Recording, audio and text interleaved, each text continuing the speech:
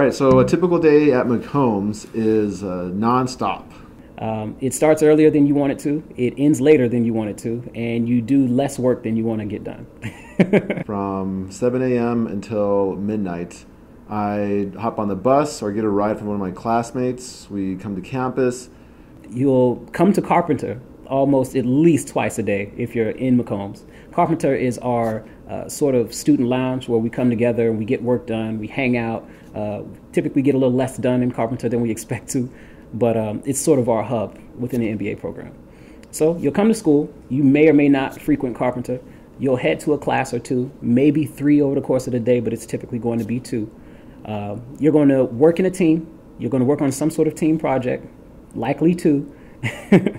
you're going to find time somewhere in between the things that you do to grab a bite to eat. I'm always on the go. But what's great about campus is I can go to the gym. So I go to Gregory Gym, which is right across the street from the business school. I have an intramural team. We play basketball. We won our game last night, actually, so I'm in a really good mood. Uh, moreover, I'm involved in some student organizations, such as the BGBA, I'm the VP of Finance for the Black Graduate Business Group.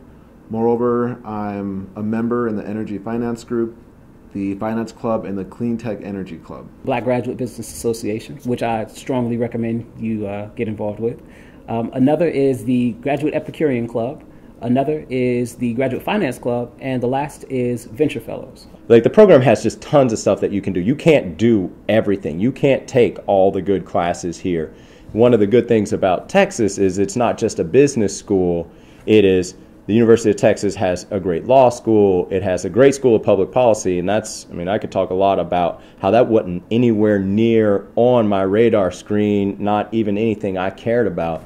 Um, but to be able to take classes at the School of Public Policy taught by a former director of uh, the National Intelligence Association and just be able to sit down and chat them up um, like you would anybody else. That type of exposure combined with uh, you know a top 20 business school is something that um, just incredibly enriching.